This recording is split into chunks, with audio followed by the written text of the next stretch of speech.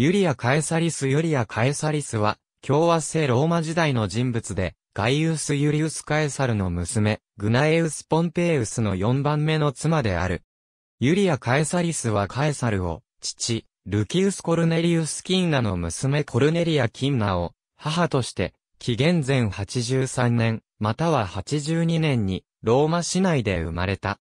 紀元前81年、ユリアが1歳の時、父は、母との離婚を命じた、独裁官、ルキウス・コルネリウス・スッラに逆らったため激鱗に触れ、小アジアへと逃れた。紀元前78年に一旦父は、ローマへ帰還するが、すぐに、勉学や、軍務のために、ローマを離れたため、ユリアは主に母と、祖母アウレリア・コッタによって育てられたが、紀元前69年に母が死去した。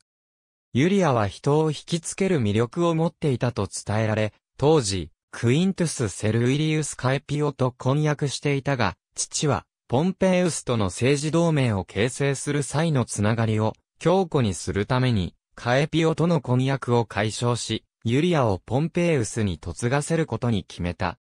ポンペイウスはユリアより20歳以上も年上であったが、ポンペイウスとユリアの夫婦関係は極めて良好であり、特にポンペイウスはユリアへ夢中であった。ローマ市民はポンペイウスが若い妻との家庭生活に溺れて政治に興味を失ったと考えた。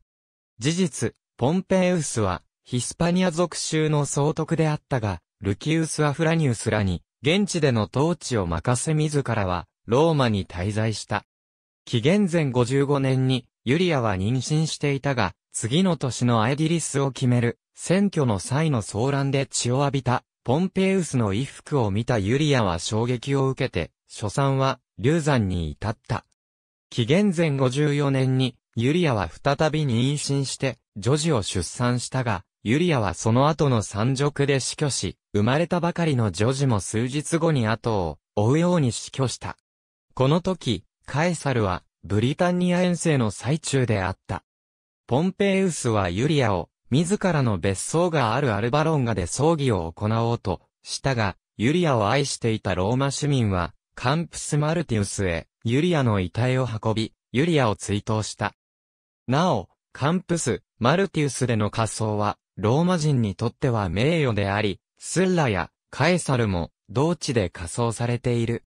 ユリアの死は、ポンペイウスとカエサルの間に亀裂をもたらし、翌紀元前53年に、両者の同盟者であったマルクス・リキニウス・クラッススの、パルティア遠征での戦死が、決定的なものとした。ユリアの死から5年後の紀元前49年から、ユリアの父と婿の間で内戦が行われることとなった。紀元前46年にカエサルは、外戦式にてユリアへの追悼として検討し工業を行った。ありがとうございます。